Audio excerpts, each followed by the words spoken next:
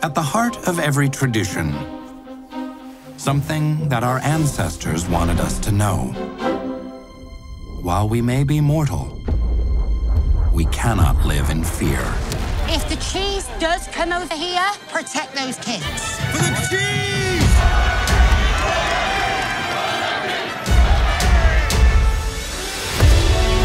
This hill scares me. I just need to face it. I've never seen anybody go through that much pain and just keep on going. I don't really like toads. I love frogs. I'm a jump guy. I feel obligated to push the envelope of what's possible. There's people that told me that I would never win. That's my motivation. It is a very, very difficult sport. Definitely the most difficult dog sport. This is it, showtime. What the hell am I doing? I was just talking to myself. I was like, oh my God, I'm gonna die That's a great day to jump some frogs. I may get disqualified, but I bet you I catch the eye of everyone in that audience. Make some noise! Three, two, one, eat!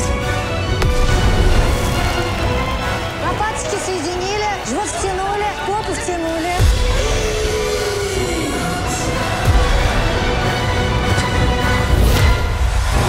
It's the hopes of walking away saying, I won.